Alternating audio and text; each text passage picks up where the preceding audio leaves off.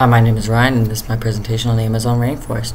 The Amazon rainforest is massive, as evidenced by this blue line, and according to Wikipedia, it holds about 3,344 indigenous territories, and about 50% of the world's remaining rainforest population.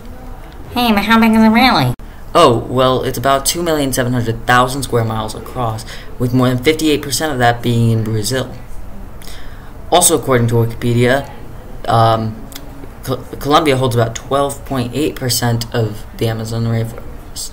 And every country that has Amazon rainforest in it is known as the Amazonas. Thank you for watching. Goodbye.